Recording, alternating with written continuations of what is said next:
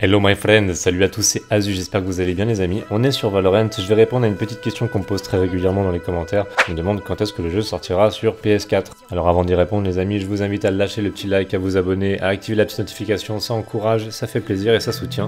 Pour en revenir au sujet de la vidéo, il n'y a pas encore de date. Il faut savoir qu'il n'y a même pas encore d'annonce officielle de la sortie sur console, donc sur PS4 et sur Xbox. Il faut savoir que le jeu il sort que cet été dans un premier temps et qu'ensuite il y aura une portabilité quand le jeu sera stable, etc. Il y a deux types de développement. Il y a les développements où ils font des jeux sur euh, console et sur PC. Les sorties sont identiques. Donc ils sortent le jeu euh, à la fois sur PC et sur console avec les serveurs en ligne, etc.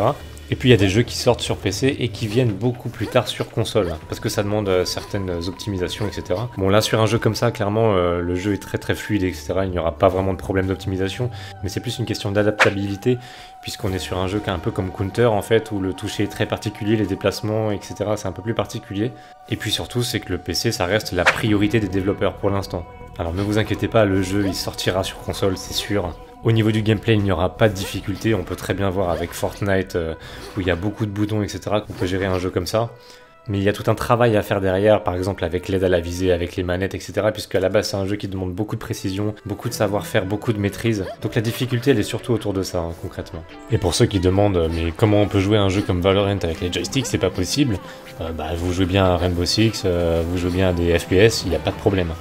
Petite parenthèse. Voilà, au moins vous avez un peu plus de détails là-dessus. Je vous laisse sur ça les amis, n'hésitez pas à lâcher le petit like. Petit rappel dans la description, vous avez Instagram et Discord, n'hésitez pas à rejoindre, on a une belle petite communauté.